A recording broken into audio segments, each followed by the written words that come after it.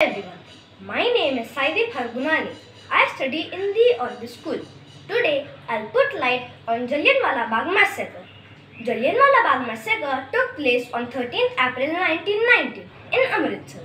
It occurred on Baisakhi Day.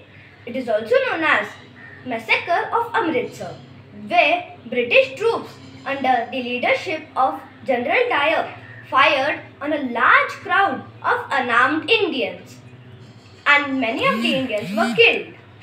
The Indians gathered at Bagh to protest against the laws imposed by the British government. Jallianwala Bagh was a very wide open land with one exit. It had many doors, but most of them were permanently locked. As soon as General Dyer reached there, he blocked the entrance by lining up his troops and ordered to open fire without any warning. Official estimates put the number of dead to 379, but in actual there were around 2000 casualties. It was a dark day in Indian history. Thank you.